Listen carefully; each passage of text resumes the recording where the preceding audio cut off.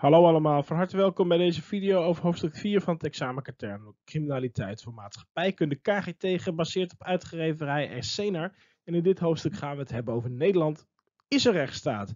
Dan gaan we het hebben over wat een rechtsstaat is. Hoe wordt de macht van de overheid beperkt en wat zijn de problemen op onze rechtsstaat als het hier om gaat. Um, laten we van start gaan. Goed, Nederland is dus een rechtsstaat. Maar wat is een rechtsstaat? Laten we eerst beginnen met de definitie en die daarna uitleggen in stappen. Een rechtsstaat is dus een land waar de rechten en plichten van burgers en overheid in de wet zijn vastgelegd. Dit houdt in dat de overheid twee taken heeft als het gaat om het recht. Rechtsbescherming en rechtshandhaving. Waarbij rechtshandhaving inhoudt dat het recht gehandhaafd wordt. Letterlijk, je moet je aan de wet houden.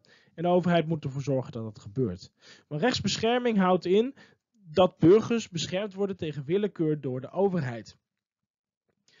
Die bescherming echter wordt dus ook gedaan door de overheid. En om dat goed te kunnen doen is er dus het systeem van de rechtsstaat.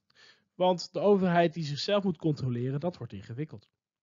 De kenmerken van die rechtsstaat waar je het dus aan herkennen zijn de volgende. Ten eerste is een grondwet. In de grondwet staan grondrechten van iedereen grondrechten zoals artikel 1, waarin staat dat allen die zich in Nederland bevinden in gelijke gevallen gelijk behandeld moeten worden. Dat betekent dus dat er niet gediscrimineerd mag worden in Nederland, maar ook dat iedereen voor die wet gelijk is. De overheid moet zich dus ook houden aan wat er in de wet staat. En dat wordt ook wel rechtszekerheid genoemd. Je moet erop kunnen vertrouwen dat je niet anders behandeld wordt dan anderen en dat de rechtsstaat ingrijpt als burgers zich niet aan die wet houden. Rechtsgelijkheid houdt dus daadwerkelijk in dat de recht voor iedereen gelijk is. Het moet niet uitmaken wie je bent. De wet die is voor iedereen hetzelfde. Dit wordt daarnaast is er ook het legaliteitsbeginsel. Het legaliteitsbeginsel houdt in dat iedere handeling van de overheid gebaseerd moet zijn op een wet. Dat betekent dus ook dat je geen straf kunt krijgen voor iets wat niet in de wet staat. Oftewel, je moet weten waar je aan toe bent. En de overheid moet zich dus ook aan zijn eigen wetten houden. Daarnaast moet er ook een onafhankelijke rechterlijke macht zijn. Maar daarover in de volgende dia meer.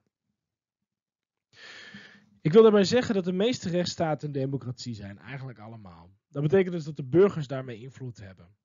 Dit is belangrijk omdat een rechtsstaat eigenlijk altijd een scheiding kent ter machten. De scheiding der machten dus wordt ook wel de trias politica genoemd. Ik heb hier nog een uitgebreidere video over gemaakt, wat met politiek te maken heeft. Die kun je ook bekijken als je wil. De, de macht moet in, verdeeld worden in drie machten. Dit is de enige manier waarop je ervoor kunt zorgen dat er niet te veel macht bij één persoon of één groep komt te liggen. Die drie machten heet ook wel de wetgevende, uitvoerende en rechterlijke macht. De wetgevende macht is degene die de wetten vaststelt, waaraan zowel burgers als overheid zich moeten houden. Dit zijn gekozen parlementen, zoals de Eerste en de Tweede Kamer in de bestuurslaag van het Rijk, de provinciale staten in de bestuurslaag van de provincie en de gemeenteraad in de bestuurslaag van de gemeente. Over die verschillende bestuurslagen kun je ook een video bekijken, daar heb ik meer over. De uitvoerende macht zorgt ervoor dat wetten worden uitgevoerd en nageleefd. Denk aan dagelijks bestuur dat dat moet doen. In het Rijk is dat de regering en het kabinet. Gedeputeerde staten die doen dat in de provincie. En het college van BNW die doet dat als het gaat om de gemeente. Daarnaast hebben we ook de rechterlijke macht. Zij beoordelen of de overheid en burgers zich ook aan de wet houden. En ze doen uitspraak bij conflicten. Dan hebben we het zowel over strafrecht, dus dan moeten ze iemand straf geven die zich niet aan de wet houdt. Maar je hebt ook rechters die uitspraken doen over conflicten tussen burgers of tussen burger en overheid en vertellen wie er gelijk heeft. Deze rechters die moeten zelfstandig zijn, onafhankelijk en onpartijdig. Dat betekent dus dat rechters geen partij mogen kiezen. Ze moeten hooguit aangeven wie er volgens de wet gelijk heeft. Rechters worden wel benoemd door de politiek, maar kunnen daar dus niet door ontslagen worden. En dat is maar goed ook, want stel je voor dat een rechter een uitspraak doet die een minister niet zo leuk vindt, dan kan dat hem dus niet zijn baan kosten. Daarmee zijn de rechters echt onafhankelijk van de overheid en zijn ze te vertrouwen omdat zij niet luisteren naar wat de overheid zegt, maar luisteren naar zichzelf. Die rechtsstaat in Nederland maar zoals niks perfect is, is ook de rechtsstaat in Nederland niet perfect. Er zijn knelpunten als het gaat om onze rechtsstaat. De eerste daarvan is het dilemma van de rechtsstaat. En dit dilemma is heel belangrijk om te kunnen begrijpen. Er is namelijk altijd een spanning als het gaat in de rechtsstaat tussen rechtshandhaving um, en rechtsbescherming. Rechtshandhaving vanwege de veiligheid en rechtsbescherming vanwege de privacy. Als jij mensen wil opsporen, criminelen wil opsporen, heb je gegevens nodig en moet je bewijs verzamelen. Maar in hoeverre moet je rekening houden met de privacy van mensen als je bewijs aan het verzamelen bent? Je kunt aan de ene kant zeggen, ik wil zoveel mogelijk mensen oppakken, maar ja, ik heb misschien iets te verbergen, maar dat hoeven ze niet van mij te weten. Wil ik dat de overheid alles onderzoekt? Stel je voor dat ze weten dat op jouw school een terrorist zit. Mag de overheid en de politie dan van jou alle appjes lezen op school? Om erachter te komen wie die terrorist is? Wil je dat de politie alles van jou weet en leest, puur om te kijken of er jij die terrorist misschien bent? Dat is best wel een spannende vraag en ook een interessante vraag wat wij ons moeten stellen bij de rechtsstaat. Privacy of veiligheid? Wat vinden we in deze belangrijker? Natuurlijk kan het ook samen bestaan, het hoeft niet tegenover elkaar te staan. Maar soms kan het botsen met elkaar. Daarnaast is er soms ook sprake van klassenjustitie.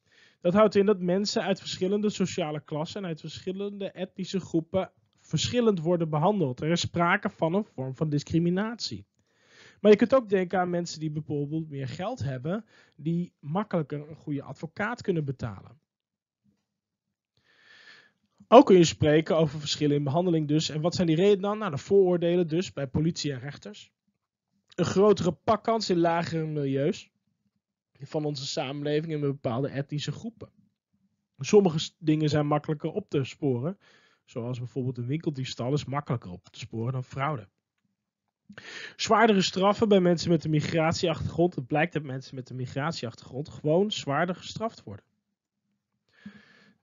Gebrek aan kennis over jongeren speelt vaak bij politie en justitie over hoe de jongerencultuur werkt. En er zijn natuurlijk ook verschillen in inkomen, opleiding en scholing en cultuur die hierbij een rol spelen. Gewoon omdat je anders gewend bent om met elkaar om te gaan.